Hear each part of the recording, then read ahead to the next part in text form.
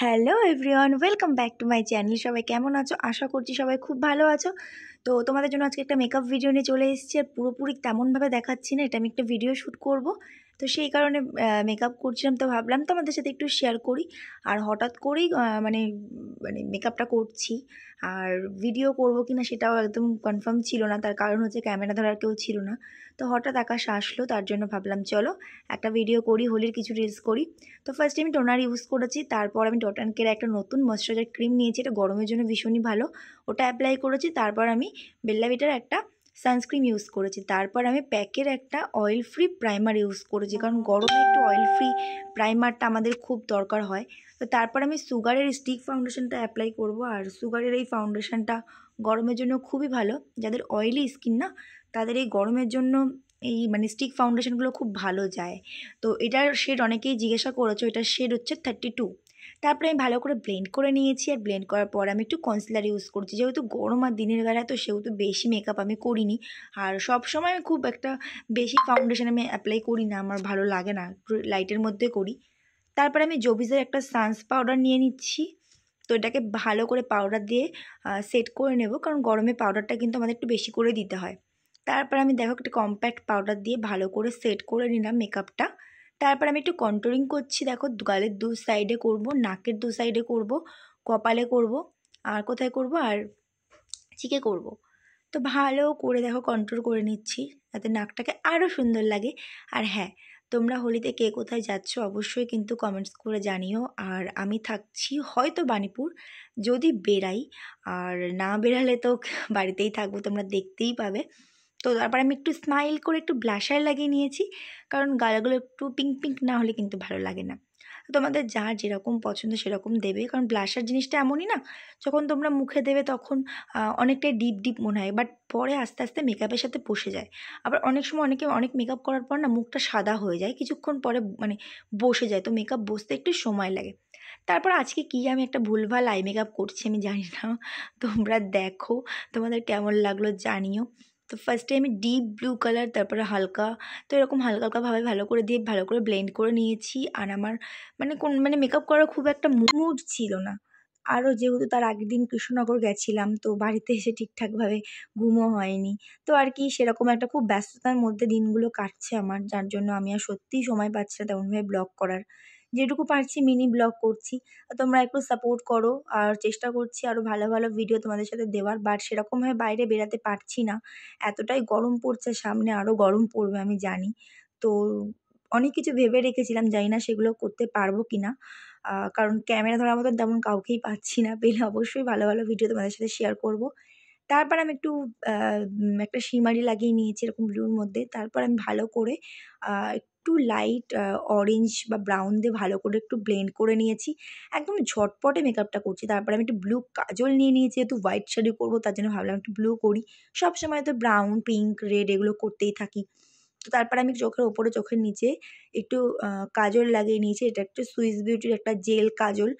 তোমাদের হয়তো দেখানো হয়নি, অন্যান্য ভিডিওতে দেখিয়েছি। এটা- তোমরা আইব্রো পেয়ে যাবে, আবার কাজলও ইউজ করতে পারবে। তো দেখো, টানতে টানতে না এত টেনে ফেলেছিলাম, কিন্তু লাস্টে বেশ ভালোই লাগছিল যখন আইল্যাশ পরছিলাম। তো অনেকটাই মেকআপ কমপ্লিট হয়ে গেছে লিপস্টিক পরে নিয়েছে, এদিকে দেখো, ও হঠাৎ করে এসে বলছে, তুই ভিডিও করবি? আমাকে কেন বললি না? আমিও করব। আমি কি শাড়ি পরে আসব? আমাকে এরকমভাবে চোখ টানা টানা করে দিবি? আমি বলছি হ্যাঁ। তারপর শাড়ি নিয়ে আসে, তারপর ওকে আমি ঝটাফট আর আমি মেকআপটা করতে ভালোবাসি, সেহেতু আমার কম সময়ের মধ্যে মেকআপটা হয়ে যায়। মানে ঝটফট করে তাড়াহুড়োই করে মেকআপ তো ওর একটু সুরসুরিও লাগছিল। তারপর দেখো ও ফেসটাকে আবার একটু বলছে, আমার ফেসটাকে একটু কেটে দিব, একটু খুঁতখুঁতে আছে। তো তারপরে দেখো একটু ব্লাশার দিয়ে দিয়েছি ফেসটাকেও সুন্দর করে কন্ট্রোলিং করে দিয়েছি, তারপর একটু হাইলাইটার দিয়ে নিচ্ছি। তারপরে মা বলল যে একটু খেয়ে নে কারণ সকাল রেডি হয়ে গেছি।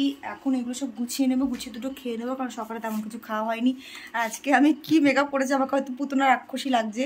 তো একটু ব্লু ব্লু ব্লু ব্লু করলাম একটু অন্যরকম করলাম। সবসময় তো সিম্পল করি। হুম বলছে তো আরও কম। যাই হোক guys, তোমরা জানিও কেমন লাগছে। ভালো খারাপ হলেও একটু ভালো বলো নাহলে আমার মনটা খারাপ লাগবে। তো যাই হোক চলো একটু খাওয়া দাওয়া করে নিই তো আজকে লাঞ্চে কিন্তু আমার খুব পছন্দের খাবার ছিল। তাই মা যখন বলেছে যে, খেয়ে নে, তখন আমি আর ওয়েট করিনি। মাকে বলছি হ্যাঁ জলদি জলদি খাবার দিয়ে নাও। তো মা করেছিল হচ্ছে মোচা বা চিংড়ি মাছটা ছিল না। তো ও মোচা ভালো খায়। তো ও দেখে ওর গালে দু তিন গাল দিয়েছিলাম ওর ভালো লেগেছে। তারপর বলছে চামচ নিয়ে আমি আরও কটা খাব। তারপরে মা করেছিল চালতে দিয়ে টক ডাল করেছিল আর মোচা করেছিল শসা আর হচ্ছে তোমার টমেটোর চাটনি। আর এই চাটনিটা খেতে খুব টেস্ট লাগে আর এই রেসিপিটা খুব তাড়াতাড়ি তোমাদের দেবো। রেডি হয়ে গেছি আর এখনও চুড়ি পরা হয়নি চুড়িটা পরবো। আর এতটাই গরম গরম লাগছে খুব একটা মানে ইচ্ছা করছে না ভিডিও করতে। তো যাই হোক চলো কিছু রিলস বানাই অনেকদিন ধরে ভাবছি বানাবো বানাবো। তো চলো কিছু রিলস বানাই। তোমরা দেখতে পাবে ইনস্টাগ্রামে ইউটিউবে সব জায়গায়। তো চলো, যাই। তোমরা বাগানটা দেখতেই পাচ্ছ। আই হোপ তোমাদের বাগানটা সবার খুব ভালো লাগছে। আর এটা হচ্ছে আমাদের বাড়ির পেছনেই। এটা হচ্ছে আমাদের ঘর, দেখতেই পাচ্ছ।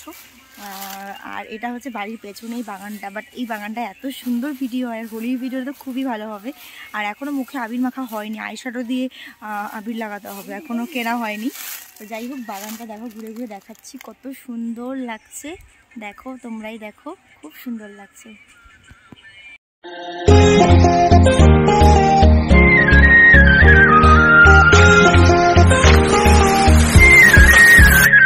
আমি তোমার কাছে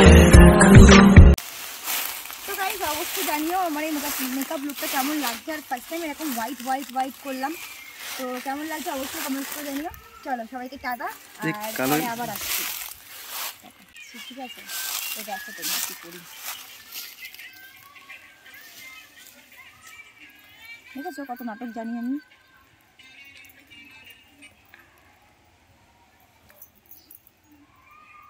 কালারিং কালারিং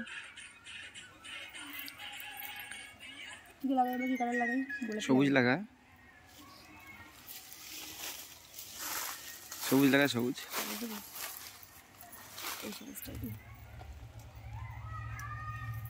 এই ভালো লাগছে বলো বলো। এবার কি দেবো? আর কিছু না দিলেও হয় বল। আরে কিছু না দিলে হবে।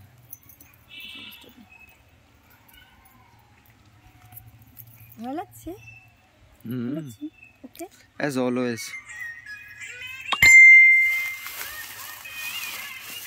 চলো হয়ে গেছে এবার আমি কি ইয়ে করি দেখি তাড়ুরে দেখাই কি করতে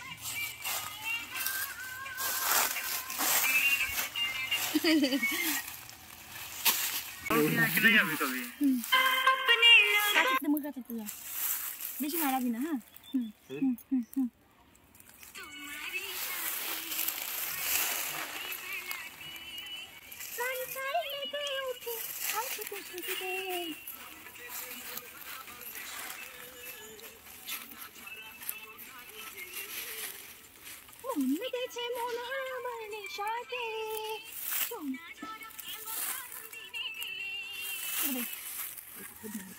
আমাকে ডান্স কভার করব।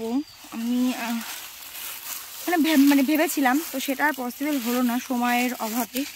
সময় ভীষণই শর্ট আজকেও হতো না, কারণ ক্যামেরা ধরা কেউ ছিল না, তো হঠাৎ আকাশ এসেছিল। তো তখন তাড়াহুড়ো করে ওকে বললাম, আকাশ, তাহলে তুই একটু বয়, আমরা একটু ভিডিও করব। তো ও বসেছিল, ওর জন্যই ভিডিওটা করাটা পসিবল হলো। তারপরে ও এস, ও আসলো হঠাৎ করেই। বলছে তুই ভিডিও করবি, আমি করব না। তো তার জন্যই ও চলে আসলো। তো যাই হোক, দেখো বাগানটা খুব বেশ ভালো লাগছে। তো যাই হোক, আজকের ভিডিওটা এটুকুই। তোমাদের পুরো ভিডিওটা কেমন লাগল অবশ্যই কমেন্টস করে জানিও। দেখা হচ্ছে নেক্সট ব্লগে আর সবাই ভালো থেকো, সুস্থ থেকো। টাটা।